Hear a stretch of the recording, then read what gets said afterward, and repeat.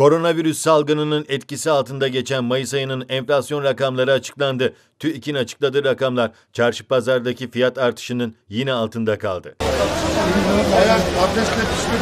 Aylık bazda tüketici fiyatları 1.36, üretici fiyatları ise %1.54 oranında artış gösterdi. 12 aylık ortalamalara göre de tüketici fiyatları %12.1, üretici fiyatları da %9.14 oranında arttı.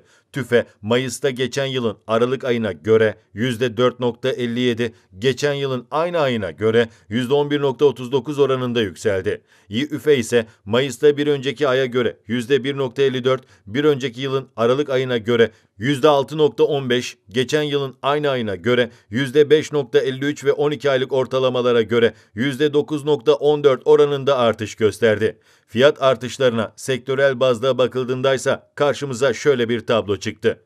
Sanayinin dört sektörünün Mayıs'ta yıllık bazda değişimleri dikkate alındığında madencilik ve taş ocakçılığında %3.63, imalatta %4.98, elektrik, gaz üretimi ve dağıtımında %14.49, su temininde %6.61 oranında artış görüldü.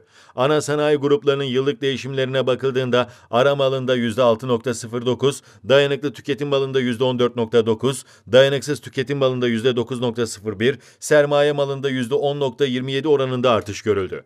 Peki geride bıraktığımız Mayıs ayında en çok hangi ürünlerde fiyat artışı yüksek oldu?